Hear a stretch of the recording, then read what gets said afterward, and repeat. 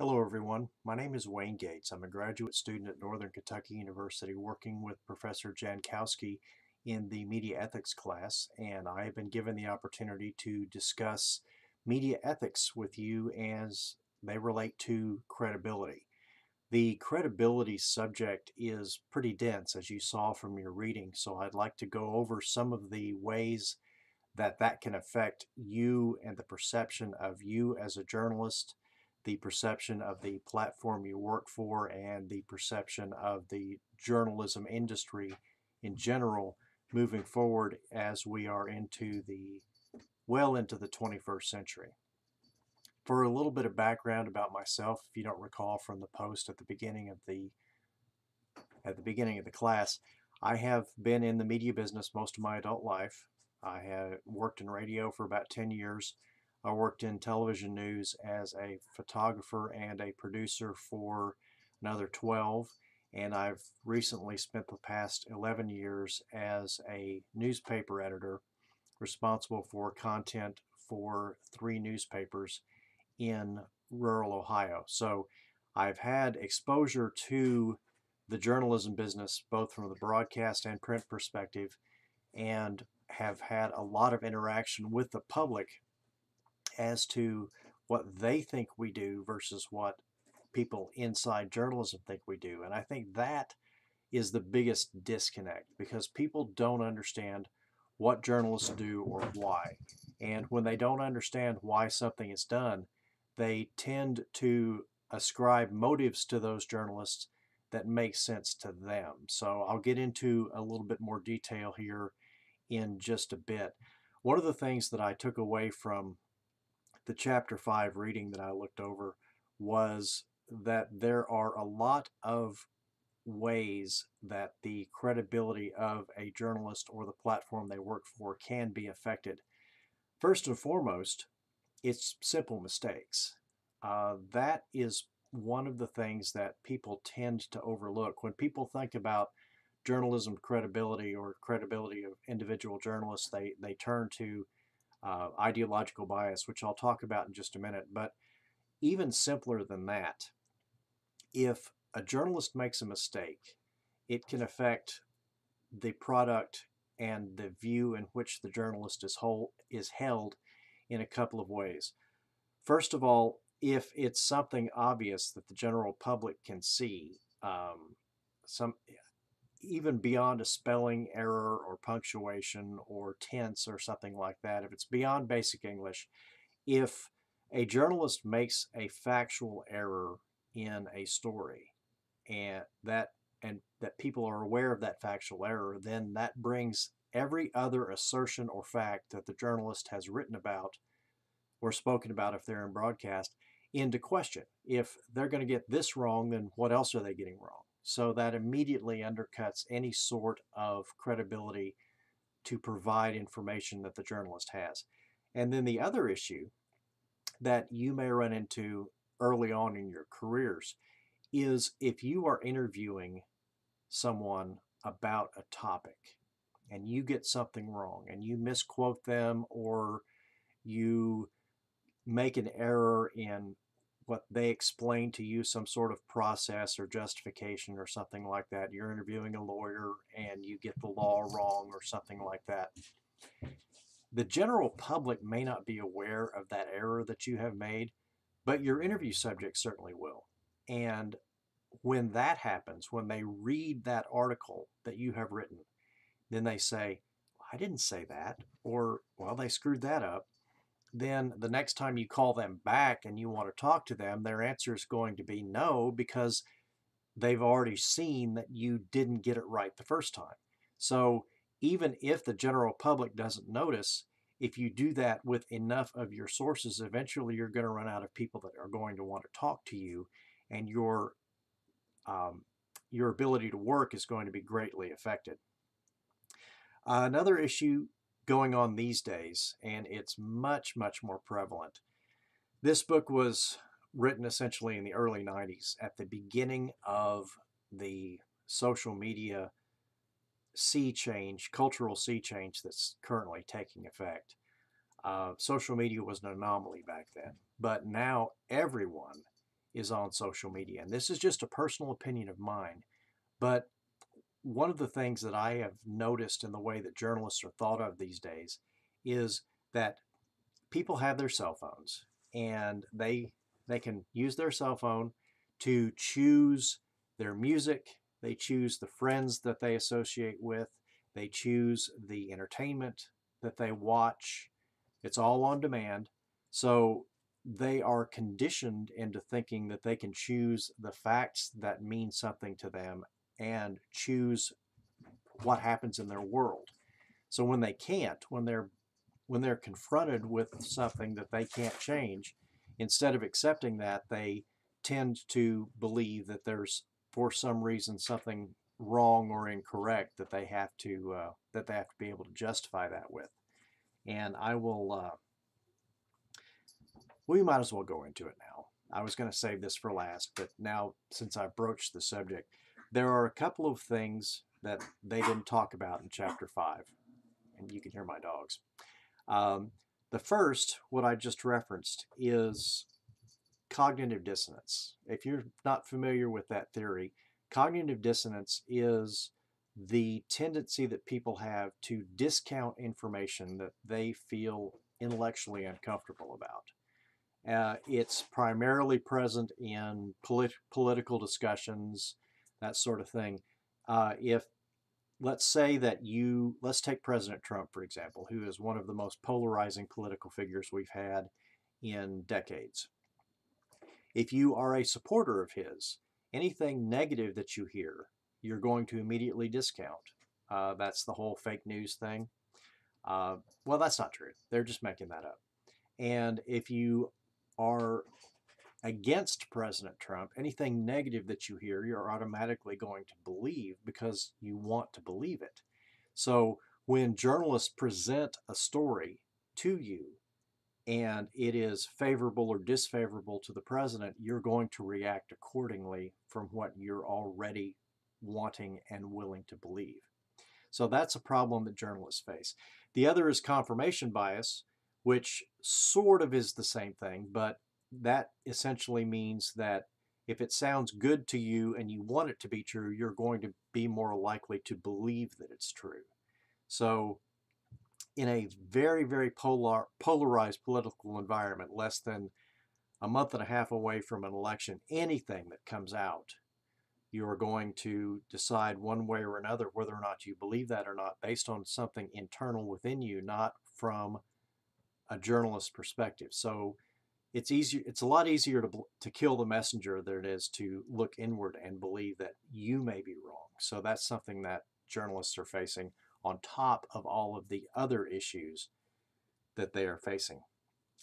Uh, the other thing that the uh, author didn't really go into in the chapter on credibility i touched on it briefly is what i call news judgment. Essentially deciding what is news and what is not and I am the editor of the newspapers in the county where I live. I am in a unique position of being the sole arbiter of what is news and what is not. And if I decide it's news, it gets in the newspaper. If I decide it's not, it doesn't. And that's a lot of power to have over the media universe of a small group of people. And in a like in Cincinnati or someplace someplace like that that has a lot of media media platforms, that's not really an issue. But what is news and what is not is a process that the public does not understand. And he talked a little bit about bias in story selection, and I'll get to that in just a minute.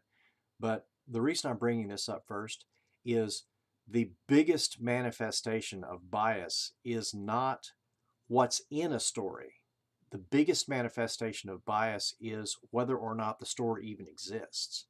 If you decide, I'm not going to do that story because I disagree with the premise of the person that's bringing it forth, like someone's alleging some sort of wrongdoing, and the person making the editorial decision thinks, now that this person's just full of beans. They're they're not they're not making sense. I don't think that that's the case.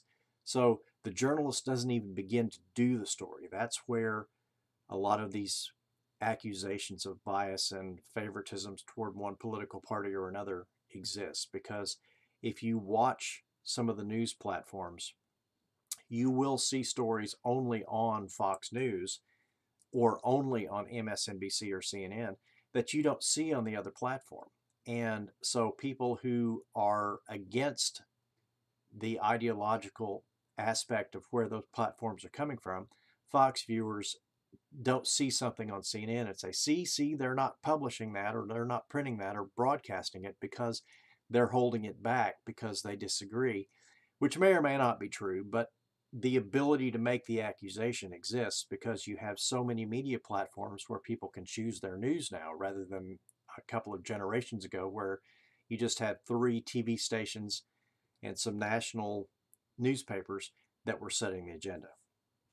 So, um, credibility for the platform is what I'm talking about. So, you as an employee of a media platform, whether that's fair or not, or whether you like it or not, you are carrying the baggage of everyone that's come before you.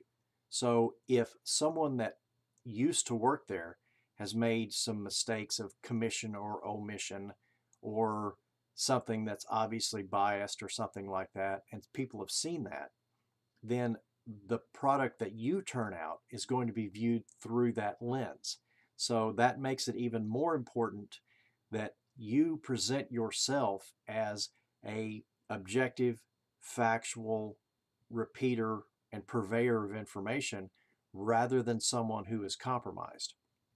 So if you have a social media presence some places require you to have a social media presence. Some of them require you to have one that is based on your professional face to the community. Like a lot of the TV stations around here, for example, require their on-air talent to have social media platforms, but they're they're labeled with the television station like Joe Smith WXIX rather than Joe Smith. So what you put on social media, how you represent yourself to the public, is another signal to people that are looking for a reason to accuse you of bias to be able to do so. If you happen to be someone that does not support President Trump, for example, and you put anti Trump stuff all over your social media page, and then you present to the public a story about President Trump, people are going to immediately think whether or not it's true, whether or not you are able to make that professional shift into this is how I feel as an individual. However, as a professional journalist, I'm going to put forth something objective. Even if you make that decision and make that effort, simply because you have represented yourself as an anti-Trump person to people in your social media presence, you have lost the ability to claim objectivity once you put forth that story about the topic that you have made your opinions fairly clear on, if that makes sense. So on my social media pages, I avoid talking about anything controversial within the county that I'm responsible for covering. I don't support or endorse political candidates in the newspaper or on social media because my universe is small enough that word would get around pretty quickly that I have made such a representation. And then any news from that point forward that I try to cover regarding those individuals or uh, those ideas like school levies or things like that. Anything that I do after that would be immediately suspect. So that's something that you've got to be got to be careful about. Now, there is the ability to be an effective journalist, but work for something that is obviously partisan. So you can do effective journalism if you're working for a, a website or an organization that is, let's say, um, devoted to protecting the environment. Okay? Now, there are people who are convinced that climate change is not as big a deal as other people want to make it out to be. And there are people who think that the coasts are going to be underwater in 25 years unless we make some very large societal changes. So let's say that you're on board with the idea that climate change is one of the urgent issues facing mankind, and you go to work for a media platform that is devoted to that ideal. You are making an ideological choice. So anyone that is against the idea that climate change is urgent is going to see your your product as ideologically biased. However, if you interview people and quote them faithfully and you use facts that they give you and you don't put your own thumb on the scale, you can make a credible journalistic product that is sort of filtered through an ideological lens. So I hope that makes sense to you. So you can do your work in a professional, competent way, and still someone is going to find a reason to criticize it. So the author was absolutely correct. This is one of the only professions where people, where essentially your customers or the people you're talking to think they know what you're doing, they think they know why you're doing it, and they think that they can do it just as easy and or even better than you can. So you're never going to win the public over 100%. There's always going to be somebody out there that has an idea that you, for some reason, have done something from your own personal motivation that is not the way that they want it done. So I'm going to close with an idea that you guys have probably heard that there are annual surveys from the Pew Research Center, from Gallup, and from a lot of others that say that people think that the news media is biased. And they always think that the media is biased against the way that they believe. And the funniest thing that came out of that to me was 80% of the people think that the other media platforms are biased, but only 20% think that the media platform they prefer is biased. So as long as people are hearing what they want to hear, they don't think that there's any problem. It's just when they hear something they disagree with that they immediately turn to blame the journalist or the platform for being biased rather than hearing a fact that they may not want to hear. So I appreciate you listening to me today and good luck with the rest of the class.